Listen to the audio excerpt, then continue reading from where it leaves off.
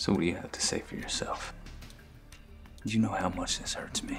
Your total disregard for the way things are supposed to be done. Your total lack of discipline. You've been around long enough to know what you're doing isn't right.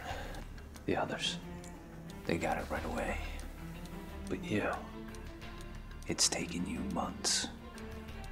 All my energy, all my efforts, all my emotion has been given to you. And your problem.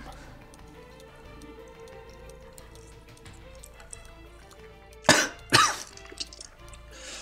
can't even explain what it's done to your mother. She'll never be the same. It's tearing our marriage apart.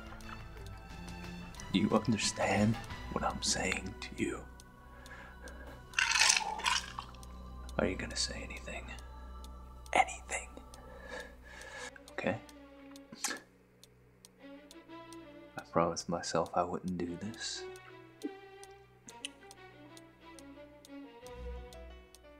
But I'm gonna give you one more chance. But after this, you're on your own. No more help from me. Now, your mother, that's up to her. But I just can't take it anymore. So I'm just gonna say it. The next time you poop your pants, I'm not changing you.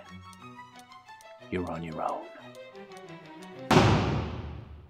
Do you understand? Are we clear? Good. Then let's go play some Chutes and Ladders. You didn't poop your pants while I was talking to you, did you?